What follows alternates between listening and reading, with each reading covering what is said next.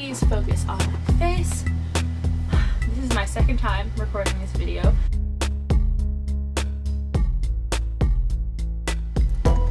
Hey guys, what's up? Welcome back to my channel and hello if you are new. My name is Magen Wolmart and today's video is going to be my skincare routine. So the reason that I wanted to film this is because I am very, very, very passionate about skincare. The reason that I'm so passionate is because I also love makeup. I'm a firm believer that before you invest in expensive makeup, you need to invest in good skincare. Yes, makeup can make you look pretty even though you already are, it just enhances your natural beauty. It can be pretty bad for your skin, you know, it clogs your pores, it can cause you to break out. So taking care of your skin when you're not wearing makeup is so, so, so important. So with that being said, I'm going to show you mostly everything on camera, what I use, how I use it, and all of that good stuff right here. So let's just go ahead and get into it. Okay, so I'm going to start off with how I remove my makeup. If I can reach it. Okay. Oh, God. Oh, God. What I use is the Garnier Skin Active Micellar Cleansing Water all-in-one. I use the blue cap because this specifically says it even removes waterproof mascara. And that is very important for me because I only use waterproof mascara. I use cotton pads or cotton squares.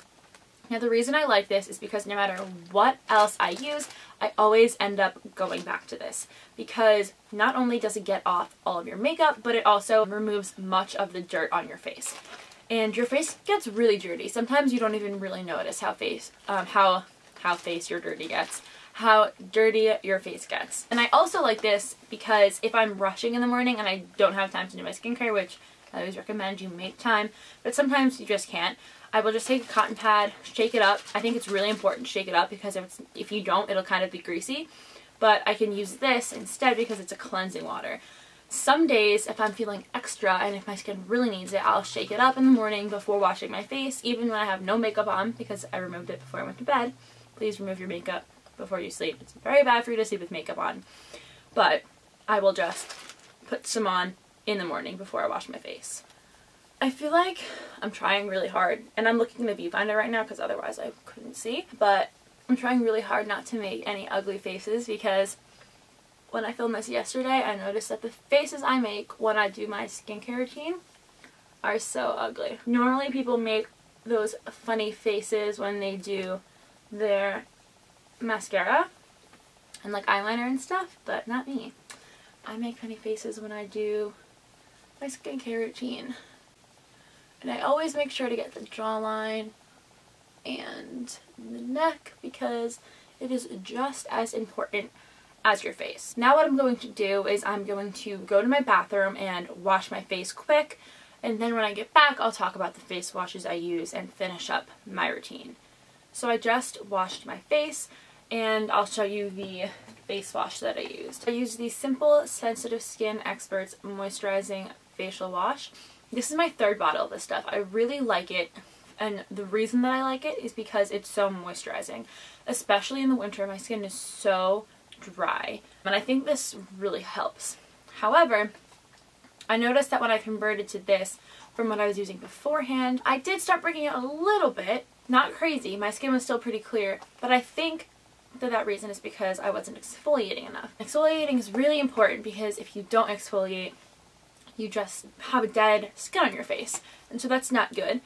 So I recently picked up the CVS Health Deep Cleansing Exfoliating Scrub. Now, this gently exfoliates your skin. So you could use it for daily use. You could use it every day, but I really like this one. I do think I'm going to go purchase something that's a little bit more exfoliating, but this is definitely helping. So a little bit more about this product is that it deep cleans into pores. It has a cooling and refreshing formula, which it definitely does. The way I describe it is kind of like minty, and it's paraben and phthalate free. Fun fact, when I was recording this yesterday, the first time, I looked at the word phthalate for five minutes and I couldn't figure out how to pronounce the word. So I literally looked it up on camera.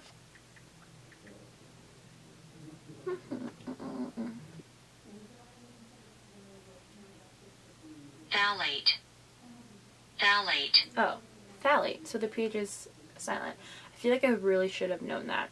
So I use this every once in a while, probably like three to four times a week, but once a day. And every other time I use this face wash. After a face wash, I use toner. I had stopped using toner for a while. I recently just got back into it, like, and recently is within the past few months.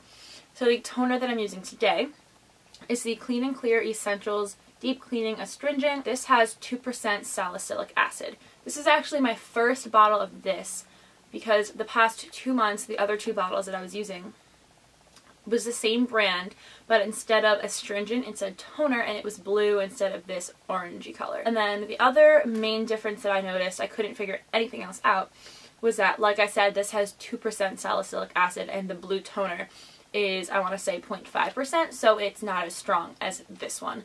So I again use cotton pads to apply this, the same cotton pads I use for removing my makeup. So I just start in my forehead, work to the other side, go down my face, go on my cheeks. This is the part where I feel like I make the ugly faces. Some people say they don't notice a difference when it comes to toner, and I wouldn't say I notice a huge difference, but where I do notice a difference is right here in like my T-zone section, specifically like right underneath my eyes next to my nose.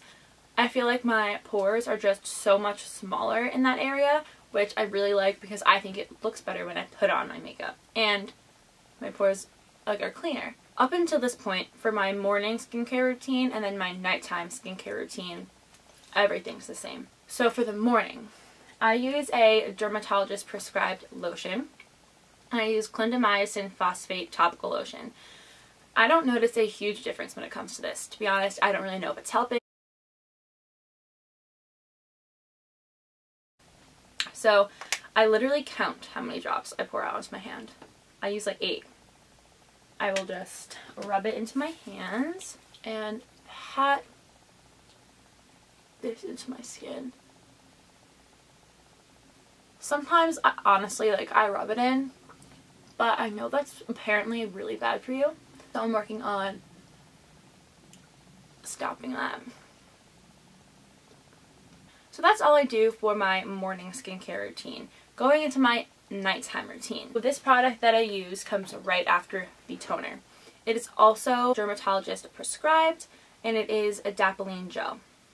It's a pump and my dermatologist told me to use like a pea-sized pump but I don't feel like it's enough to cover my whole face. So I still use one pump but I just use like a really slow pump. Following that gel I use the CeraVe PM Facial Moisturizing Lotion and I don't use this every single night but on the nights where I feel like my skin is a little bit more dry and I need some more moisture I will use this. I really like this too because it's ultra lightweight, which it says on the bottle, and it's not greasy. But with that being said, thank you guys so much for watching this video. Don't forget to give it a big thumbs up if you enjoyed it and subscribe. It's free. You don't have to, but it would mean so, so, so much to me if you did. Comment down below what videos you want to see next. Thank you guys for watching again, and I will see you in my next one. Bye!